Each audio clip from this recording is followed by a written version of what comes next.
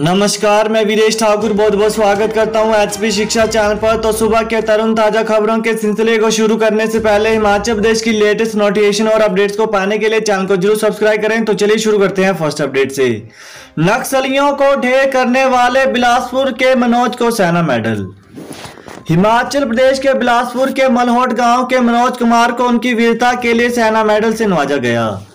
राष्ट्रपति रामनाथ कोविंद की ओर से भेजे गए सेना मेडल से अधिकारियों ने कोलकाता में उन्हें सम्मानित किया। मनोज को सेना मेडल मिलने की खबर सुनते ही घर में बधाई देने वालों का तांता लग गया। बता दें कि मनोज कुमार अभी एसपीजी दिल्ली में कार्यरत हैं। फरवरी 2019 में झारखंड की झुंझुनू पहाड़ी पर नक्सलियों के खिलाफ सेना और सीआरपीएफ के जवानों ने ऑपरेशन चलाया था। इसमें 17 नक्सली मारे गए थे। मनोज कुमार ने भी अपनी बहादुरी का परिचय दिया। उनकी इस बहादुरी के लिए उन्हें 23 जुलाई को कोलकाता में सेना मेडल से नवाजा गया। मनोज कुमार को दो छोटे भाई भी भारतीय सेना में सेवाएँ दे रहे हैं। आठ महीने का इंतज़ार होगा। खत्म। अगले हफ़्ते आएगा साठ का result. Set state eligibility test का परिणाम इसी माह के अंतिम हफ़्ते में आएगा। हज़ारों विद्यार्थी करीब आठ माह से परिणाम घोषित होने का इंतज़ार कर रहे हैं। कोरोना के कारण परिणाम घोषित करने में देरी हो रही थी। यूजीसी की टीम ने बीते दिनों ऑनलाइन ही परिणाम की समीक्षा कर ली। अब लोक सेवा आयोग के अधिकारी परिणाम को घोषित करने की अंतिम तैयारियों में जुट गए हैं। टोक्यो ओलंपिक पहले राउंड में चीन के तोते से भिड़ेंगे boxer Ashish Chaudhary. Tokyo Olympic पदक के प्रबल दावेदार हिमाचल प्रदेश के बॉक्सर आशीष चौधरी 26 जुलाई को पहला मैच चीन के मुक्केबाज के साथ खेलेंगे। मुकाबला सोमवार दोपहर को होगा गुरुवार, देर शाम टोक्यो में मुकाबलों के लिए ड्रॉ निकाला गया। 75 किलोग्राम भार वर्ग में आशीष चौधरी का पहला मैच चीन के बॉक्सर तुओते रबिएके के साथ तय हुआ है। वहीं ओलंपिक में जाने से पहले आशीष चौधरी गत वर्ष थाईलैंड ओपन बॉक्सिंग प्रतियोगिता में स्वर्ण पदक जीत चुके हैं। इसके साथ ही उन्होंने 2019 में फ्रांस में लिक्सेस बस्ती ने अंतर्राष्ट्रीय बॉक्सिंग प्रतियोगिता में भी स्वर्ण पदक हासिल किया है। आशीष चौधरी के भाई और पूर्व में बॉक्सर रह चुके सुरेश चौधरी का कहना है कि टोक्यो ओलंपिक में भी आशीष देश के लिए पदक जीत कर लाएगा। हिमाचल में पानी के नए कनेक्शन पर 8 अप्रैल से लगी रोक हटी। हिमाचल प्रदेश में पानी के नए कनेक्शन लेने पर लगाई गई पाबंदी जल शक्ति विभाग ने शुक्रवार को हटा दी है। प्रदेश सरकार ने गत 8 अप्रैल को नए कनेक्शनों पर रोक लगा दी थी। विभाग ने इस संबंध में लिखित आदेश भी जारी कर दिए हैं। मानसून के सक्रिय होने के बाद सरकार ने यह कदम उठाया है। एचपीयू वीसी सिकंदर कुमार की नियुक्ति को चुनौती देने वाली याचिका पर फैसला सुरक्षित। हाई कोर्ट ने हिमाचल प्रदेश विश्वविद्यालय एचपीयू के कुलपति डॉक्टर सिकंदर कुमार की नियुक्ति को चुनौती देने वाली याचिका पर शुक्रवार को फैसला सुरक्षित रख लिया। न्यायाधीश सुरेश्वर ठाकुर के समक्ष मामले पर लंबी बहस हुई। सभी पक्षकारों की ओर से बहस पूरी होने के बाद अब मामला फैसले के लिए सुरक्षित रख दिया है। शिमला विक्रम जरियाल सरकारी मुख्य सचेतक, कमलेश उप मुख्य सचेतक नियुक्त। मुख्यमंत्री जयराम ठाकुर ने नई दिल्ली के दौरे से लौटने के बाद प्रस्तावित विधानसभा और लोकसभा उपचुनाव के बीच सियासी तैनातियाँ शुरू कर दी हैं। शुक्रवार को उनके निर्देश के बाद विधानसभा में सरकारी मुख्य सचेतक, उप मुख्य सचेतक के अलावा अलग अलग बोर्ड निगम में उपाध्यक्षों की नियुक्तियाँ के आदेश जारी हुए हैं। चंबा ज़िले के भटियाल से विधायक विक्रम सिंह जरियाल को हिमाचल प्रदेश विधानसभा में सरकारी मुख्य सचेतक नियुक्त कर दिया गया।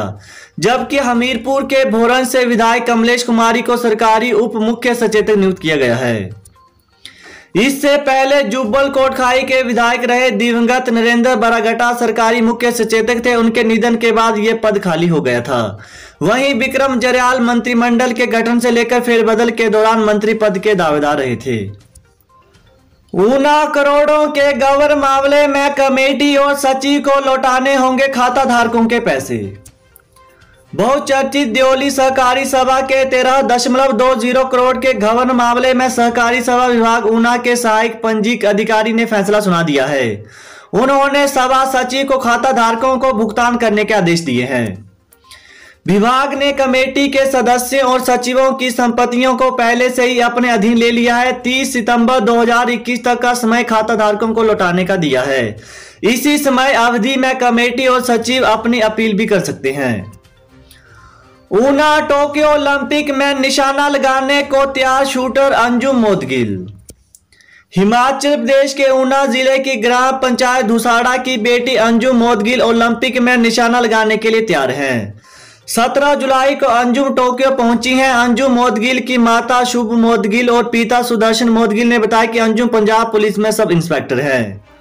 हिमाचल में दो कोरोना संक्रमित महिलाओं की मौत, नवासी नए पॉजिटिव, जाने सक्रिय केस। हिमाचल प्रदेश में शुक्रवार को दो और कोरोना पॉजिटिव मरीजों की मौत हो गई। शिमला में बावन वर्षीय और चंबा में अस्सी वर्षीय संक्रमित बुज़ुर्ग महिला ने दम तोड़ दिया। उधर प्रदेश के कोरोना के नवासी नए मामले सामने आए हैं। मंडी ज़िले में इक्कीस, शिमला में अठारह, चंबा में पंद्रह, कांगड़ा में पंद्रह, कुल्लू में सात, किन्नौर में पाँच, ऊना में तीन, सोलन में दो, बिलासपुर में दो और हमीरपुर में एक नया मामला सामने आया है। वहीं बीते 24 घंटों के दौरान प्रदेश में एक मरीज़ ठीक हुए हैं। सक्रिय मामले आठ सौ तिरानवे रह गए हैं। अब तक तीन संक्रमितों की मौत हुई है। बीते 24 घंटों के दौरान कोरोना की जाँच के लिए पंद्रह हज़ार आठ सौ पच्चीस लोगों के सैंपल लिए गए। सिरमौर, रिश्वत मामले में प्रधानाचार्य और प्रवक्ता पर विजिलेंस ने दर्ज किया केस। हिमाचल प्रदेश के सिरमौर ज़िले के उपमंडल पाउंटा साहिब के राजकीय छात्र वरिष्ठ माध्यमिक पाठशाला तारोवाला के प्रधानाचार्य व प्रवक्ता के खिलाफ विजिलेंस ने मामला दर्ज कर लिया है। ब्यूरो ने वुड सक्वायर टेक्नोलॉजी कंपनी के सेल्समैन की शिकायत पर यह कार्रवाई की है। बता दें कि सेल्समैन व स्कूल के प्रवक्ता के बीच बातचीत का एक ऑडियो वायरल होने के बाद शिक्षा विभाग ने प्रवक्ता और प्रधानाचार्य को निलंबित कर दिया था। मौसम, हिमाचल में दो दिन भारी बारिश का अलर्ट, प्रदेश में भूस्खलन से 126 सड़कें बंद। हिमाचल प्रदेश में शुक्रवार को सभी क्षेत्रों में मौसम साफ़ रहा, वहीं भूस्खलन होने से प्रदेश भर में 126 सड़कें बंद हैं।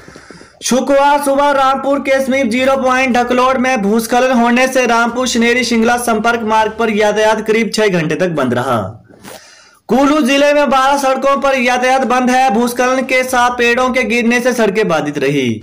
हमीरपुर के विकास खंड बिजड़ी की ग्राम पंचायत सटवी के भाड़ा गाँव में दो कमरों का स्लेट पोस्ट मकान जमींदोज हो गया। वहीं मौसम विज्ञान केंद्र शिमला ने 25 जुलाई के लिए प्रदेश में बारिश का येलो अलर्ट जारी किया है। 26 और 27 जुलाई को भारी बारिश का ऑरेंज अलर्ट जारी किया गया है। 29 जुलाई तक पूरे प्रदेश में मौसम खराब बना रहने की संभावना जताई गई है। शिक्षा दसवीं से बारहवीं कक्षा के विद्यार्थियों के लिए दो अगस्त से खुलेंगे स्कूल, प्रशिक्षण संस्थानों के लिए नई शर्त। हिमाचल प्रदेश में करीब चार महीने बाद 26 जुलाई से कोचिंग, ट्यूशन, प्रशिक्षण संस्थान और 2 अगस्त से विद्यार्थियों के लिए दसवीं से बारहवीं कक्षा के स्कूल खुलेंगे। कैबिनेट बैठक में यह फैसला लिया गया। इसके बाद शुक्रवार को राज्य आपदा प्रबंधन प्रकोष्ठ ने इस संबंध में विस्तृत आदेश जारी कर दिए हैं। वहीं इस आदेशों के अनुसार एसओपी का पालन करते हुए पांचवी और आठवीं कक्षा के विद्यार्थियों को भी दो अगस्त स्कूलों में शिक्षकों से परामर्श लेने के लिए आने की अनुमति होगी।